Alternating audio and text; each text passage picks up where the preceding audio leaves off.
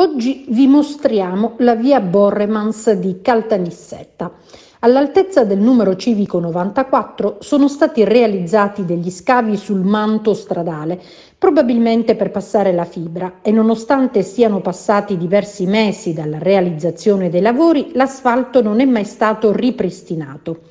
I tombini per la raccolta delle acque sono totalmente intasati. Gli alberi fuoriescono sulla carreggiata, coprono la segnaletica verticale e ostruiscono la visuale agli automobilisti. Il sopralluogo è stato effettuato dal consigliere comunale della Lega Oscar Aiello, invitato da alcuni residenti della zona. Oscar Aiello ha presentato un'interrogazione all'amministrazione comunale.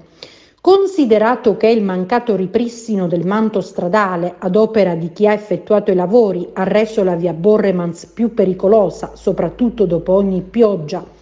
ritenuto opportuno vigilare sui lavori effettuati lungo le strade di Caltanissetta affinché chi di dovere provveda al ripristino dei corpi stradali e delle pavimentazioni in conglomerato bituminoso immediatamente dopo l'esecuzione dei lavori, Oscar Aiello interroga l'amministrazione comunale per sapere chi ha effettuato i lavori sul manto stradale di via Borremans e perché l'asfalto non è stato ancora ripristinato. Quali sono gli oneri a carico di chi effettua i lavori di manomissione del suolo pubblico comunale per la realizzazione di impianti di servizi a rete nel sottosuolo e a chi compete verificare cosa ha intenzione di fare per la pulizia dei tombini intasati e l'eliminazione dei rami che invadendo la carreggiata ostruiscono la visuale. Oggi siamo venuti in via Borremans all'altezza del numero civico 94 dove i residenti della zona ci segnalano che tempo fa, mesi fa, sono stati eseguiti dei lavori sul manto stradale, avrebbero eh, passato probabilmente la fibra, ad ogni modo l'asfalto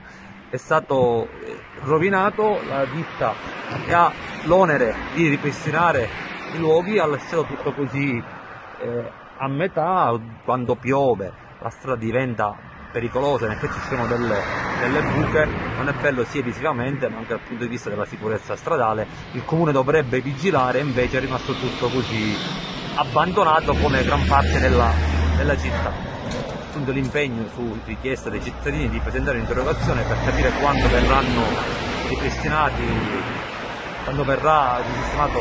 l'asfalto, per capire bene chi del comune ha l'obbligo di dovere di vigilare invece non l'ha fatto. Un ulteriore problema che mi è stato segnalato dai residenti sono gli alberi che fuoriescono sulla carreggiata e tra l'altro ostruiscono anche i cartelli stradali.